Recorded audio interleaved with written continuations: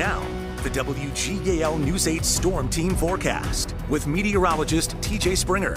The big weather headline is our next storm system, a potent one that is now organizing across the deep south, going to bring us some rain and eventually snow. Today was gloomy. It was a little chillier too.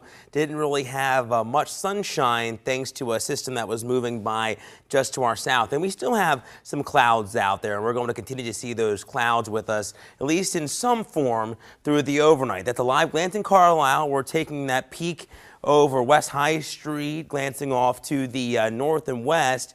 Quiet for now, and farther to the north, we are actually seeing a little clearing as some drier air is trying to work in from the northwest. But upstairs in the atmosphere, we have a little bit of lift, and that has sparked up a couple sprinkles here late this evening. All that working away from us, and I think for the most part, we're going to be dry through the remainder of the night. But here's our system. This is the area of low pressure that is still putting down snow across Texas and Oklahoma. It's going to start to move toward us and eventually bring us rain and then snow. That's the story into early this upcoming work week. Tonight, we're back into the middle and upper 30s for most of us. Some spots are a little cooler than this because of that clearing off to our north. That's kind of the exception, but most will be here in this range. Through tomorrow morning, we're back into the uh, upper 30s and lower 40s under a mainly cloudy sky. It's cool. You'll want a jacket if you're heading out early on, maybe not your heaviest one in the closet. And then, of course, tomorrow, that moisture is starting to move in closer to dinner time.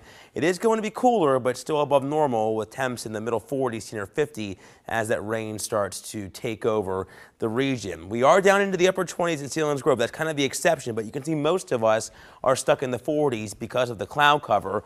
We're at a 46 in Gettysburg, 44 in the Red Rose City. We're now down to 42 in York. Now, as we progress through the next 24 hours, we are going to see that colder air eventually working into the valley. It's going to be a moderate impact event. It's still mild. We're going to have rain at the onset because of that, but then it starts to mix with and change to snow in the wee hours of our Tuesday. Between 4 and 7 a.m., I think it's becoming all snow.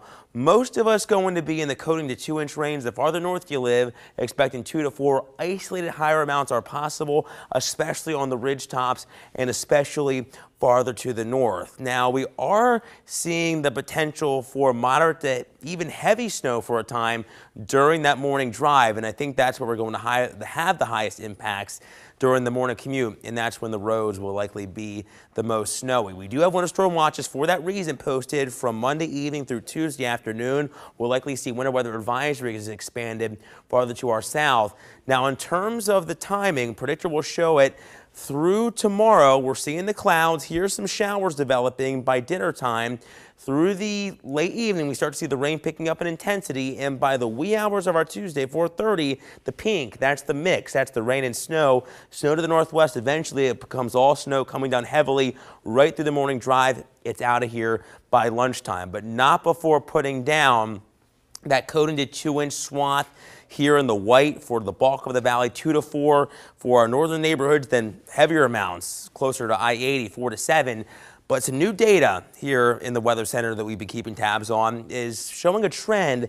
We may have to adjust these amounts and push some of that heavy snow farther to the south because of the low tracking a little farther to the south and east. That's something that we've been watching all evening long. And of course, make sure you join Christine in the morning for our latest updates. Now, our News 8 Storm Team 10 day forecast does show a drier Valentine's Day. Brisk, it's cold, upper 30s. Thursday, another clipper moves in. This one could bring us some hit or miss rain and snow showers. Not a ton of moisture. It's chilly overall through the remainder of the 10 day, expecting maybe a few rain or snow showers over the weekend. And then by President's Day, we're back in the 40s dry ahead of another potential system, McKenna. So it's certainly active over the next 10 days. All right. Thanks, TJ. In